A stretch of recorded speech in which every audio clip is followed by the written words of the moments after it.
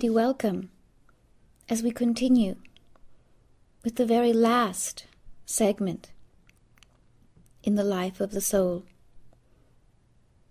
Indeed, and how is one to consider the last segment of a soul as if indeed that were possible?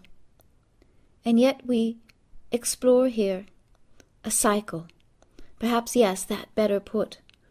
The last in the great cycle of the soul as it expresses itself through one journey, one lifetime.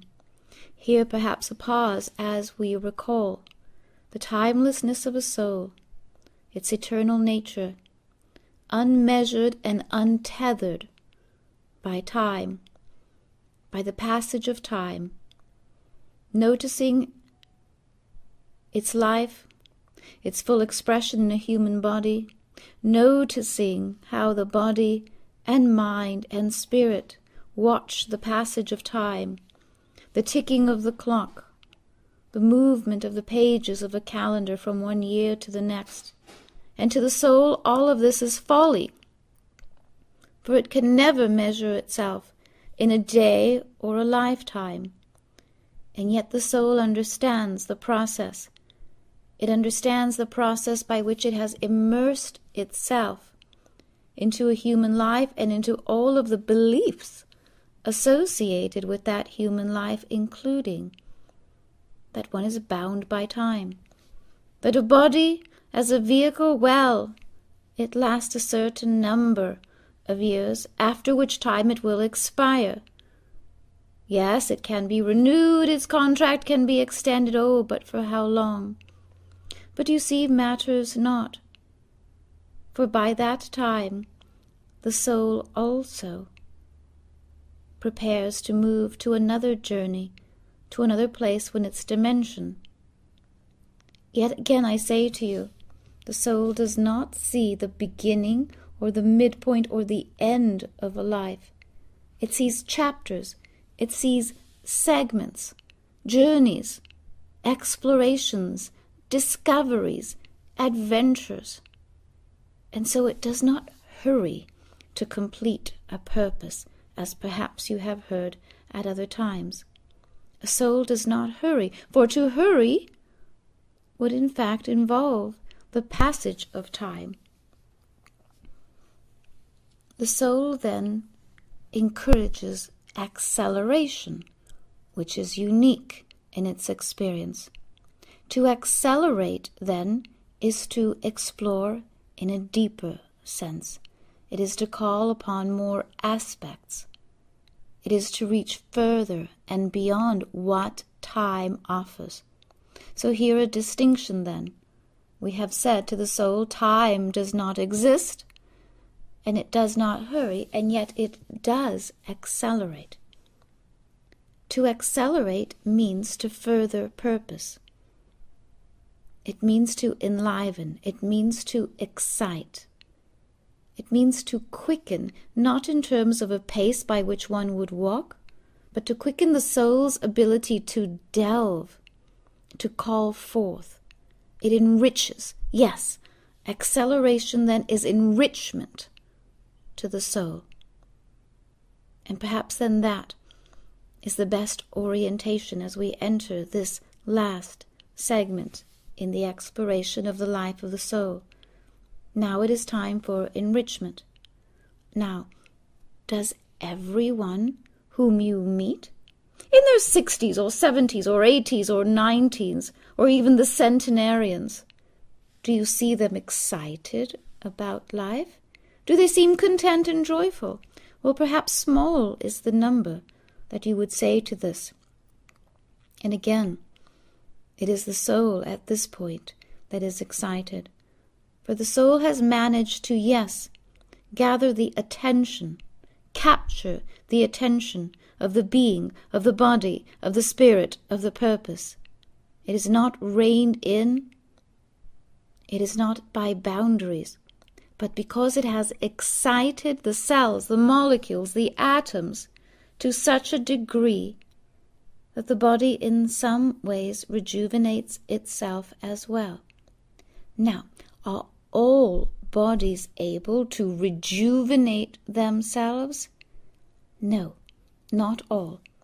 To some degree, it depends upon the heredity of the body, and there are some bodies that, well put, well used, are not as able to regenerate from the cellular structure. There are some bodies that have larger, stronger strains of atoms, depending upon their original construction, their original forming, coming together. And these stronger, just as you have noted, there are those of stronger genetic structure, these are able to regenerate the cells, restart them to a greater degree than others, and so able to some degree to rejuvenate the body as well.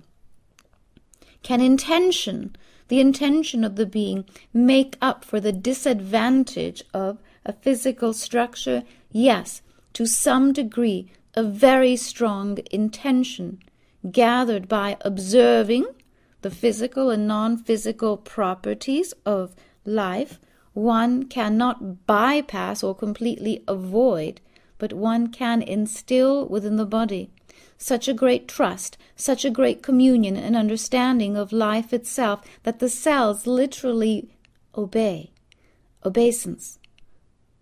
The soul then is under command of the body, mind, and spirit. Again, this is not possible, it is not automatic in all beings. And here we must say that the distinction comes from those that would perhaps be considered old souls. How can you tell an old soul from a new one? Well, by some standards, I will say to you that not many young, young souls will last in their bodies high into the seventies and eighties and nineties and beyond. For one must have control of the body. By then one must have command of one's faculties and to the younger souls, just as those that might be younger at piloting vehicles, there is a recklessness about it. There is a recklessness that simply believes that the body, which is no more than a physical vehicle after all, can simply last and last and last and last, or there is a disregard for whether it will last or not. For the younger soul is interested in as many, as many adventures as soon as possible, and so it pays little mind to managing a body to its long lasting second and third births or abilities to rejuvenate or to call upon. So that is one of the simplest ways to tell. Does it mean that every senior citizen you come across is also an old soul? No, not necessarily. So indeed there are more subtleties here. An old soul can be seen, however. An older soul, I will tell you, is more patient, though not necessarily more kind, for at times patience also has a kind of intolerance associated with it as well. An older soul is one that, yes, does not judge. An older soul will say, Do as you wish. It will come out just fine in the end. Do as you wish. If it is not this time, it will be next time. Do what you like. You will be guided. Do what you think. The minefield of the mind is worth exploring. Do what you feel. Your heart will not belie nor betray you. Do what you must. Follow the organized thought. Follow so until you can lead. So you see, one can indeed find the older souls, and when you do, well, tis worth tipping your hat to them. Tis worth giving them a hand shake, a small bow, a gratitude, for one day they will leave behind that vehicle, and I assure you they will leave it behind much as they have found it, vacant but whole something to aspire to. In this next phase of life, the soul's last phase with regards to the present incarnation, the soul begins to revive almost everything it begins to retrieve older thoughts that it considered but had never quite made a decision on. Here you will find some individuals who become very, very opinionated. They will tell you just what they think about almost anything, whether it is your business or interest or not. Is it simply because they have become older busybodies? No, not necessarily. For you see, now the soul has made it a point to retrieve all those things and thoughts that had been left undone. If longer ago the soul did not have an opinion because it wished to gather more experience, now it does. Now it comes full circle. Now it sees its own reflection. Now, in order to see your own reflection, I assure you, you must be willing to see your own shadow as well. So here you have as well, then, the soul who has come and gone and come again, the soul who has seen the shadow and the light, and found the uniqueness in each one, found, as matter of fact, that they are both brother and sister, that they are cousins both sharing the same throne, that they are equal in measure. Here the soul does not fight, neither the light nor the dark. Here you find that the soul does not immediately spend its life doing good deeds, and yet it finds that there is goodness, and it wishes to participate in that. Goodness and good deeds are not necessarily the same. Out of the goodness of a soul, then, there is the philanthropic adventure, the desire to see good acts performed in the world. That is not the same as a charitable function or a charitable donation. A soul's philanthropic effects is simply comes from the desire to see good at work in the world, to see goodness prevail, which is not the same as to do battle with difficulty or poverty or war. The desire to see goodness expressed in the world is the philanthropic view of the soul. And when there is a kinship between the soul and the body, mind, and spirit of the lifetime, yes, good deeds are known to come from that. Ideas that are of benefit to the young and to the old. So here is not the same as to fight for a cause, you see. Here is not the warrior. Oh no, here is the peacemaker. Here is the one that walks already between the shadows of light, or between life and death, or what it will be. For here you find those that have less and less fear of death, for instance. By now the soul has infused within the being the possibilities that life is life, and that all of life is continual so there is no fading into the background, and rarely is there a hurry, as we said earlier, of what must be done before it is too late. No, here you have then a carefully crafted path. Without a hurry there is a stride, however. Perhaps there is an urgency to a matter, if it matters to those upon this plane. So do not mistake the urgency of a matter or the urgency of a project with the soul in a hurry to do something or to accomplish something, for these two are a bit unique. The soul now continues its adventure, seeking and moving and discovering and collaborating with others. Here you find those that have to share with others, then, a like mind, a like journey, a like truth. It is a time to collaborate. And of course, you will find those that struggle against this as well. And here again, you will find then the difference between a younger soul and an older or a more mature soul. Careful as you make the distinction that you do not see an older, a senior human being is not the same as to say that you see a senior soul, for they are much different the soul that is in communion with the human aspect, with the mind and with the heart. Here there is a great deal to be discovered.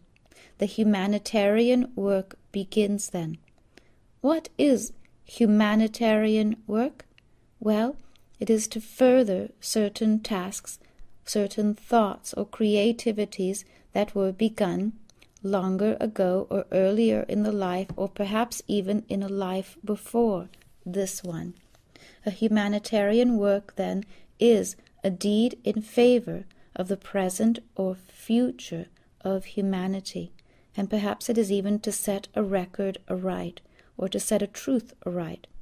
Here you may even find one that discovers that in what is the remainder of this life it wishes to correct a historical perspective.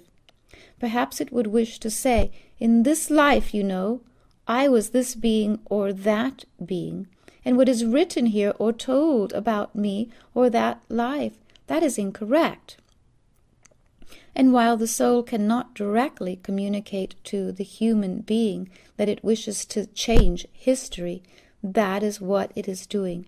It begins to affect history by affecting the truth. How do you change history? Can you simply go back to this time or that time and change history? No, not necessarily, though indeed it has been done. You see, when you go back in time to change history, you change everything, including the going back. And so the very being that is in the process of going back, that going is changing and changing and changing and changing. So you cannot be the being that goes back to the changed thing without having been changed in the process. The better way to change history or to affect the future is to do so from the present moment. From the present moment, one affects or begins a new and distinct thought, one of a higher vibration, one that contains more truth, one that excites the atoms in that time more than the previous energy or truth did. Expanding upon that truth, then, all things begin to change either to unravel in a certain way so that they can take a new course, a new direction, or without the integrity to uphold a truth. If a truth is no longer true, it will not be able to stand upon its own merit. And so anything or anyone that comes up against that less than meritorious thought or experience or being will in some way be compelled to act upon it, to change it, to move away from it, or in some way to exert energy upon it. And so that thing and the thoughts associated with that thing become changed. And so here I tell you that there are many that will come from other lives to this one. And if if, a little bit like you would think about a meal, if you finish your main course, you can have dessert. Well, if you have completed your life's work, your purpose, you are then, yes, free to exert influence, to exert force upon the present moment in such a way as to correct another time or place or purpose or truth or lifetime. There are those then that you will find that set about that course, set aside, discerning how to change, how to restore a good name, how to give credit to one who may have created or been the inventor of something and did not get credit for that in that lifetime. And so truths are revisited in one way or another. And that is why it matters not again to the soul what credit is given for its accomplishments. The human may care to be noticed for what it has designed or engraved upon life. But the soul is not so interested in being given credit or accolades in a certain life for having created or invented something new. It knows, again because it does not measure itself based upon time, that all that it does, in good measure, is accepted, is notable, is useful, is practical, is loving, and, in its own time and place, will come to its own full and complete accord. The benefit of the soul is that it sees far into the future, far into the past, if necessary, and whether or not it conveys this to the human aspect, it is seen none the less. You see many tomorrows, you see many horizons, but you do not see them all. You cannot yet imagine how the rest of this life will go, and you cannot imagine what will be in the next life, but the soul can. The soul already begins to create, to research, to call upon, to prepare a next life, each one then being purposeful and plentiful and full. Once the purpose of one life is complete, the next life is already being planned. So here I tell you that for those that say, Oh, this is my last lifetime upon the earth, don't you know? Well, not necessarily. It is the last lifetime in a series that is being considered. It is the last lifetime in how one goes about the structure, so that the next time round there will be a lighter structure, there will be less choice, less purpose in the human standpoint, and much more to the divine aspects. So the soul begins to divine and decide what will come in future lifetimes in that way. And so plans, motions. All the while, the body itself, even if it is being rejuvenated, well, the body still ages, you know.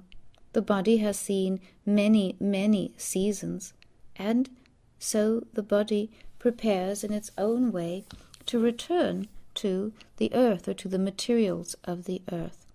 The body does not struggle against this. The parts that struggle are the mind. The mind is the finite aspect of soul, spirit, body, lifetime. Here there is the one part that is finite, and it is the human mind. Now, you are imbued with an infinite mind, mind of Creator, universal mind, divinity mind, or what you will term it. And yet, the aspect of you that manages the human life and the human bond, it is a human mind. It is the mind brain gray matter combination that orchestrates and coordinates everything associated with this life. This mind communicates not only with the greater mind, but also with soul, in order to have brought about all of the activities that are important and associated with the purpose as the soul has orchestrated it. However, it is a little bit like what you might consider a part time job or a contract job, understanding that it will come to an end at some point at some time, and the timeless aspects of the soul will, of course, continue forward. For the most part, there is peace in this, but not completely. Now, in a lifetime, is every purpose achieved? Yes, the soul achieves its purpose. Why then do some individuals believe that they did not live well, or live purposefully, or get what they wanted in life, or find the joy or happiness, or like that? Why the disparate thoughts in this case? Well, the answer being that while the soul was resourceful in all of its capacities to know and to see and undertake a purpose, the mind could only participate in this to the degree that it was conscious in the process.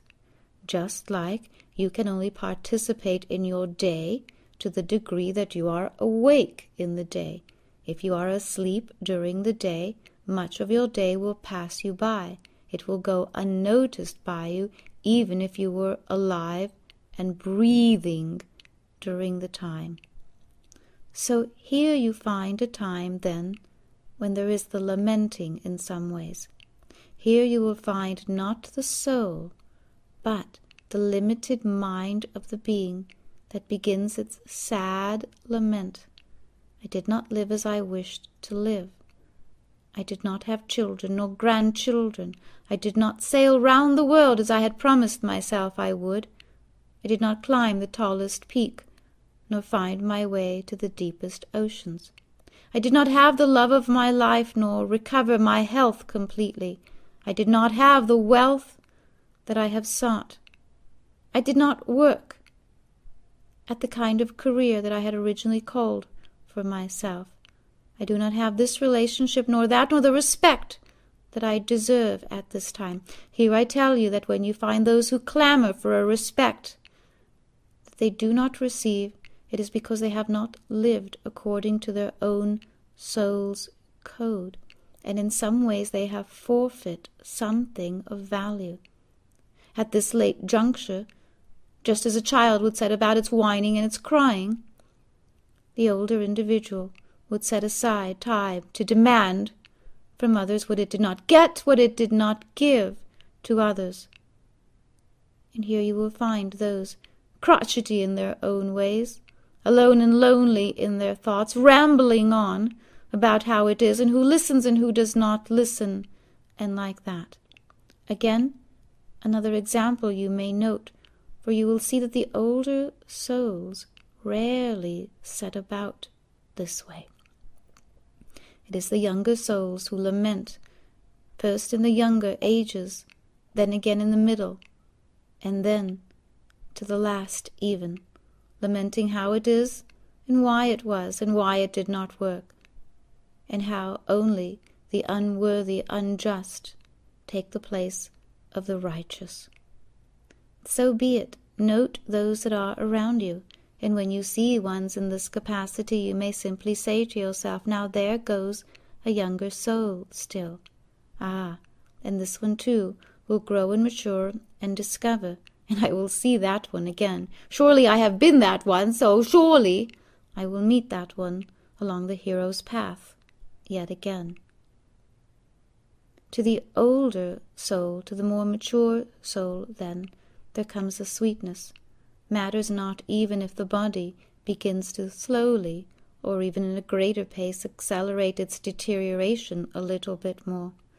The older soul will say, Ah, and life is sweet.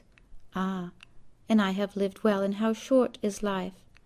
And oh, what I would like to do still. Whether I do or not is irrelevant, but I tell you I would still like to do this, to know this, to go here or there. I would like to impart wisdom or to share joys. I would like yet to do the silliest and smallest of things. I would like to taste what life still has to offer.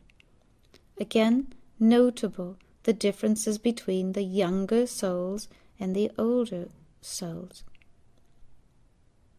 The younger souls will say, Ah, if I had it to do over again, I would do this and I would do that, and I would never do that, nor take advantage of this or like that. The older, more mature soul will say, Hmm, perhaps I would have changed a thing or two, or perhaps yet, upon second consideration, I might have left it all the same just as it was. For it has been a journey after all, and in the undertaking of that, have I not learned, have I not grown, have I not shared, have I not savored from life itself? And so there is the savoring aspect of life now, and the notable difference is perhaps now more than at any other time.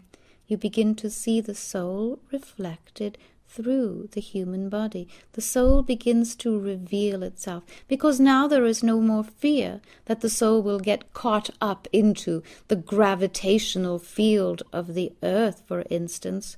No, the soul knows that now its path is already committed. Its fate is sealed, if you like, but it does not see it that way. It simply sees that there is a little more time still now it sees time as something playful, something that it can toy with. It can stay or go.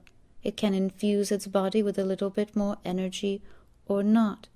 It can play with time, stretch it, pull it, tug upon it, condense it, extract one hour of a day that is unique and special, nap through the entire day if it chooses to, not missing anything, knowing that all things are complete. As the body, then, begins to, well, atrophy a small amount or deteriorate a small amount, here you will see that some do so in a sweet sense, in a childlike, innocent sense, or perhaps in ways that are more abrupt.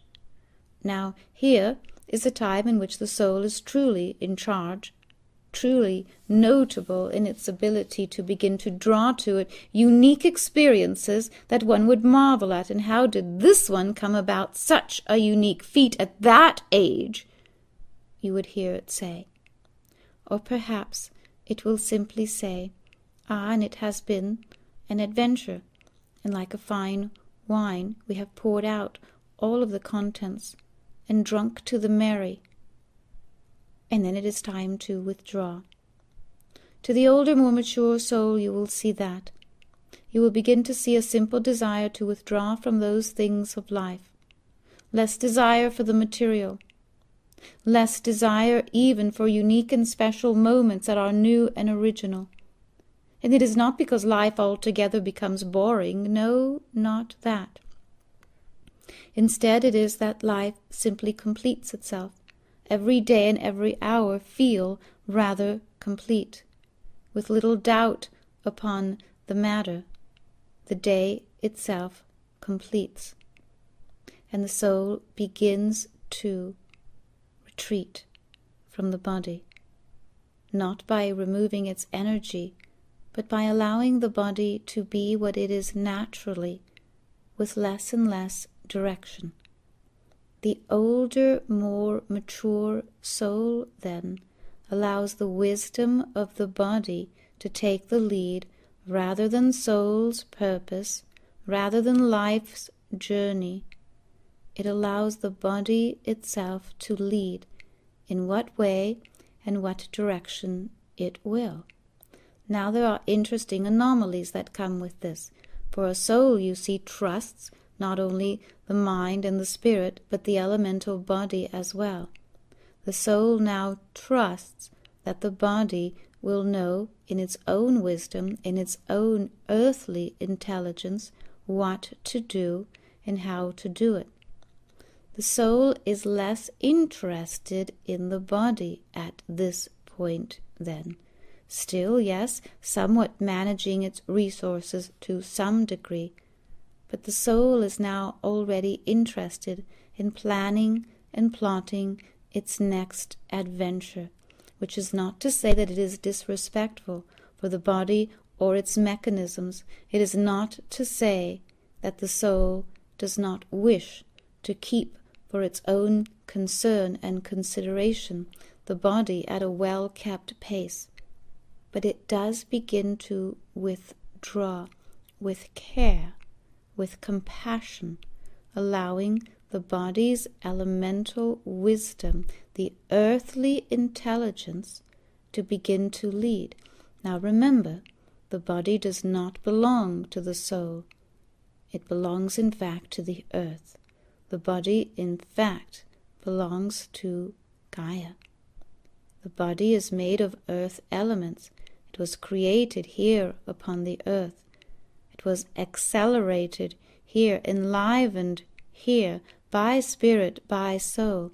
But the body itself, its waters, its clay, its structure, the bone, mineral, water, the body belongs to me. The soul, then, with great care and respect, begins to set about tidying that house as best as possible. Here we speak of the highest scenario. Here we speak then of the mature soul entrusting the body to its own walk. Slowly, then, or at times very quickly, and in accelerated motion, creating its own time and place, not for its demise, but for its correct exit, at a time and purpose, and choosing of its own.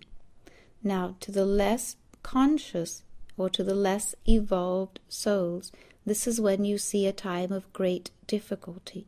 This is when you see dis-ease or discomfort. Here you see the older beings that have then fallen, perhaps hurting their hip or another organ then. What is to be made of this? It is not, then, worth while, as you might know, to transplant entire organs if the rest of the body cannot also be rejuvenated to work in sync with that organ. The older souls know this, understand this, but the younger ones do not. So the younger souls, then, become in more difficult states, hurting themselves one day after the next creating one malady after another, one discomfort, illness, or disease, and, for the most part, bringing others into that experience as well. Help me, pull me, fix me, take me, and like that. Again, these are experiences associated with a younger soul. This is not to say that there is judgment for one or the other, for there is always purpose in the discovery of this, and there is much to be discovered in the process, yes. The older soul will then set about, then, its final checks, if you like, discovering and choosing for itself its own completions, saying its goodbyes, or beginning to withdraw in just the way that it does, and content to do so. The soul's journey, then, the soul's participation in life begins to find a gradual, complete movement of all that is light. There are changes to be noted in the body. There are changes to be noted in the eyes, the windows to the soul, yes? Many times the eyes become lighter in color, not simply clouded over with less than an ability to see clearly. No, the eyes themselves take on a lighter quality about them. More light enters the structure, and they find themselves lighter in being as well. This is the case with many older, more mature bodies and more mature souls as well the bodies become less in density. They begin to release less weight. They begin to release thoughts. They begin to release dense, weighted thoughts so that they are more uplifted in the process as well. Sometimes this process of releasing density calls upon the body to sleep more in the process. So you will see that older individuals require a little bit more sleep or more naps. It is not that they are tired, I assure you. It is in some ways that the soul already wishes to be elsewhere, and so it prepares and cares for the body a great deal. It uses that body to dream, spell its next life, to begin to weave already the ideas of a next life. And yes, it gives glimpses and purpose to this life as well. In other words, the completion of this life affords at times the ability to see the next life and even to participate in it to a same degree. You see, it is not that the soul will choose the same body or the same being or the same life, but it is a gift. And why not? And why not? It is a gift that the soul says, Look, look, this is the direction that we are moving in. Look, this is what I am creating. Would you like to see the future? Would you like to see an adventure?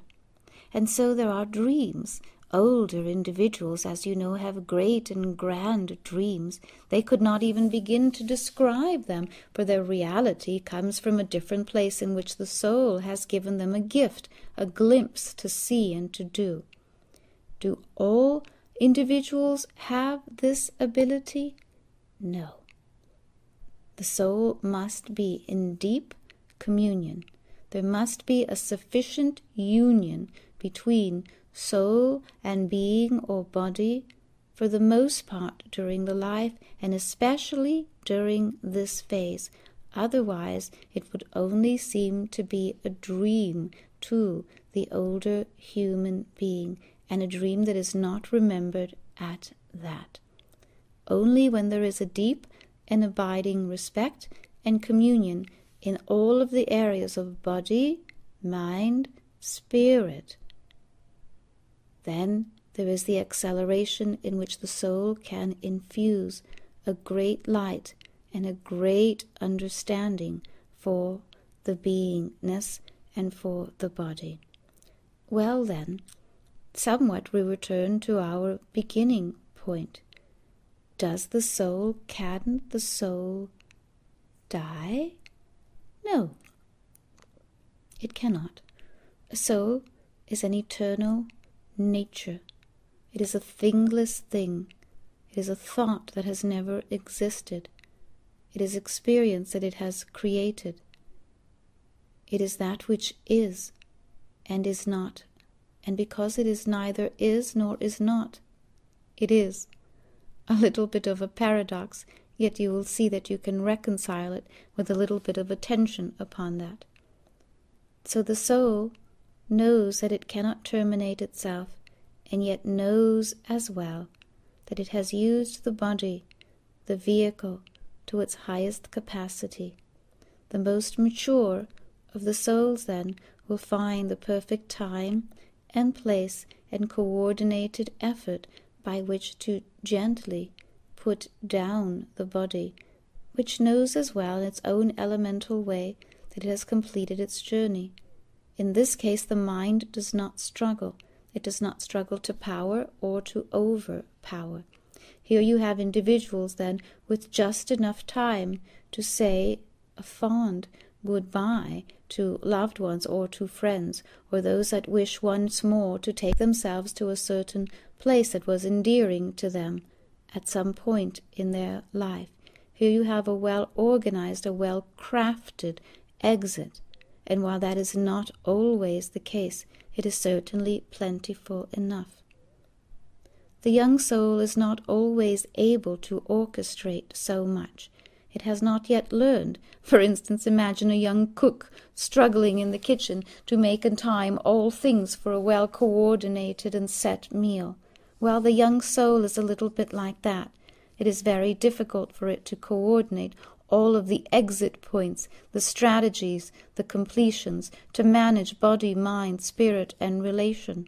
And so here you find haphazard moments in which it could not coordinate all and found an exit in one way or another, but perhaps at an unexpected moment, you see, one that did not seem planned, one that seemed just a little bit too soon, or not the way anyone imagined it would go.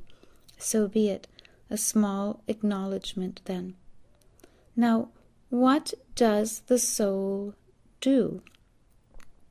Once it prepares or has already left the body. Does it simply abandon it, saying, Thank you very much, and I'm off to the next experience?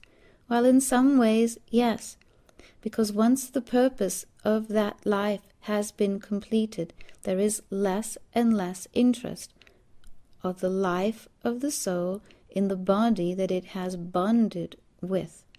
However, it is also a respectful moment, and so the soul then will make accommodations, if not for the body or for that being.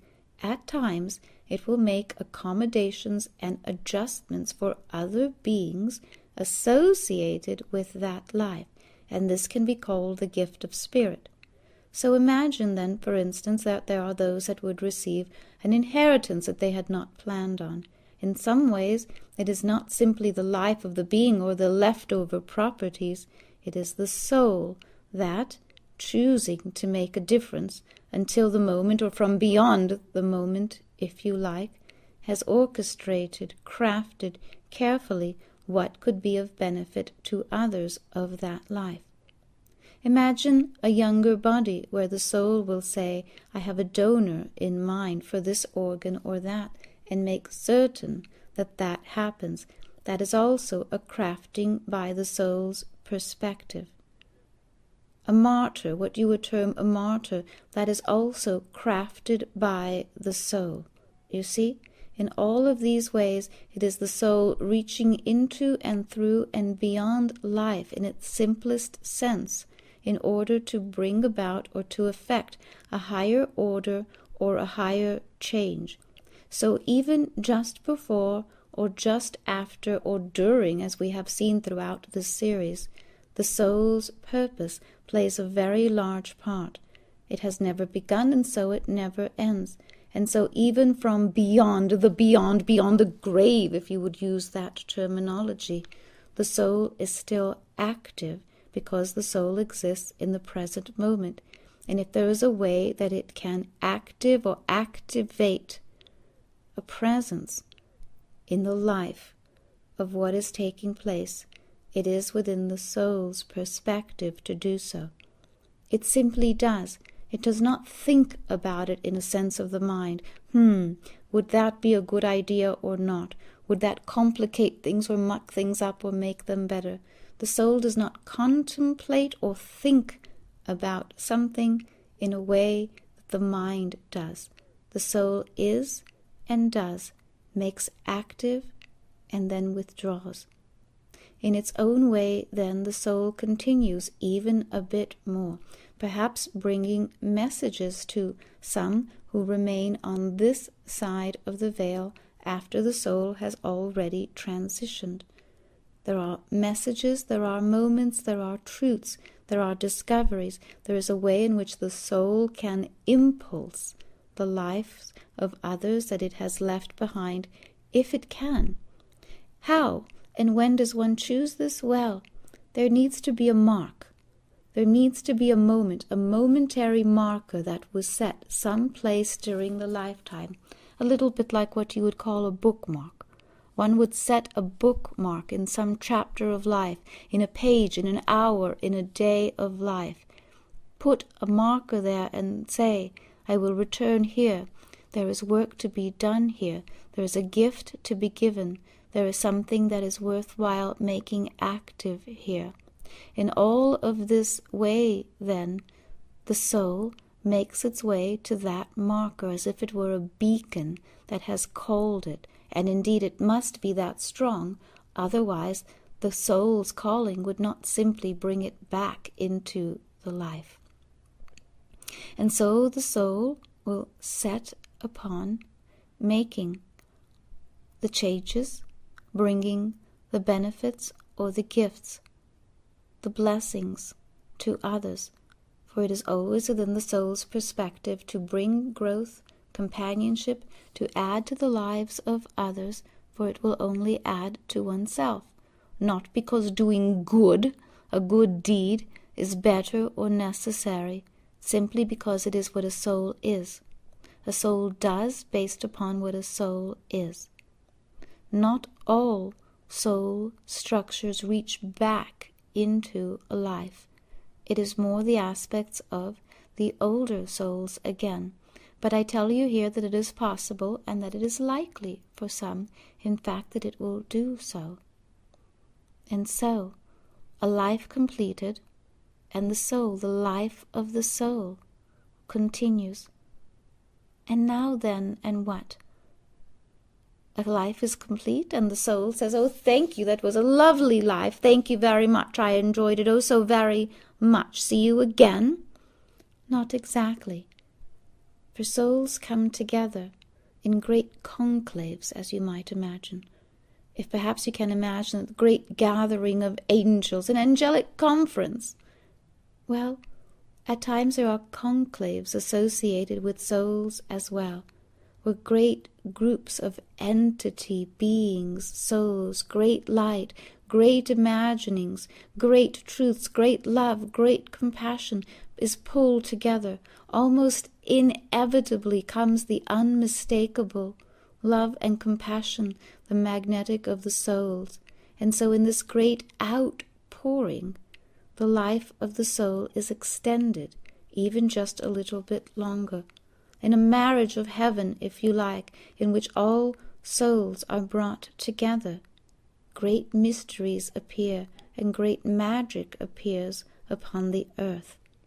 And in moments such as these, great light gathers, and great change, great momentous change and evolution at times takes place upon the earth. The earth is now nearing one of these moments. And as you might imagine, there are many, many souls interested and active, activating every soul, every particle, every aspect within themselves and others to be enlivened and awakened for the experiences that are yet to come and unveil themselves in this moment. Ah, but there are also those with another calling, called to a conclave beyond the earth plane, called to explore and experience life beyond the physical, beyond the limitations and so these begin to withdraw now. And as the moments continue to unfold, you will see that there is even more than at any other time an acceleration of the soul's directive, an acceleration to move beyond the planes of the physical, even the accelerated planes of the physical, to move beyond these to the next available plane, where life the eternal life of the soul can be explored as well. It would be incorrect to think or to imagine that what you would term ascension or growth or discovery, transition, transformation, transmutation from one veil to the next or one age to the next must be accomplished in a physical body. Nothing could be further from the truth. And there are many many souls that would prefer to know their light in a lighter sense, to withdraw from the bodies in time. So, for one reason or another, you will see this more and more. Matters not at what age, matters not young age, man, or old age, woman. Matters the directive of the soul must be followed, will be obeyed.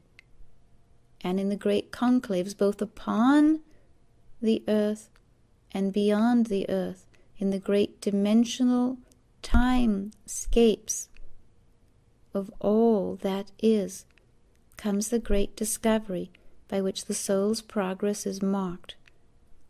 This time, this year, this particular juncture is, yes, a marker, a marker in the book of humanity, for humanity to say, I am and I become more than I have been. I move beyond this veil and into the next place and into the next phase. And it is the soul's courtesy to acknowledge this, to favor this, and to assist humanity in its next endeavor. A soul is not a human. There are no human souls and other souls. There are no earth souls and other souls. There are simply souls, soul's essence, the essence of all that is, an expression of light and purpose is soul, is a gathering of light and experience. It is the unfoldment of light. It is a harmonic expression of all that is. And so the light prepares to receive itself, to begin again, to reset itself. And so the life of the soul is set only to begin again, to revisit the next adventure. Soul does not tire, it yearns. The soul does tire, yes, of being in a body or in a life, but a soul does not tire. It is made of an infinite light, the light of all that is, and all that is does not tire, not of humanity, not of this moment. And, sweet ones, neither desire. Until the next moment, by which I will bring to you an entirely different topic for your consideration and exploration. I bid you good day.